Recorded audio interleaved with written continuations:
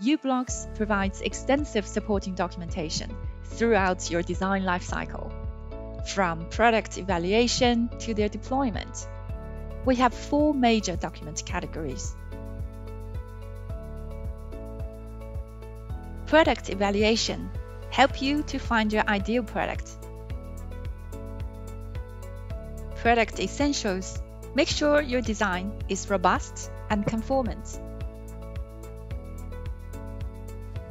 Notifications are our newsletter to customers for changes with software, hardware, and certifications.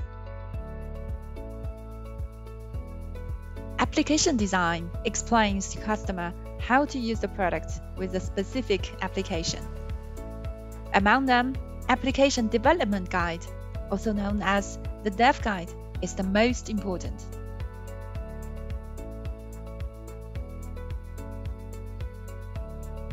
We have created a Dev Guide for each series of modules.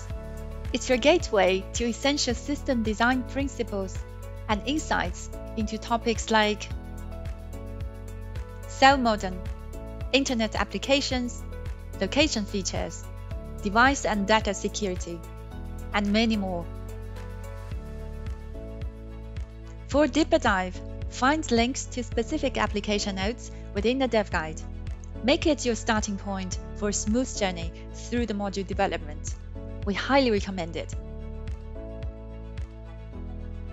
Download our free evaluation tool, mCenter.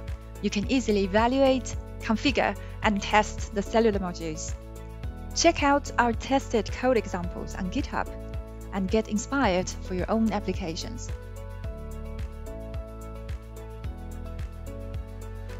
The u-blox host library, UBXlib, provides C libraries to build embedded applications easily.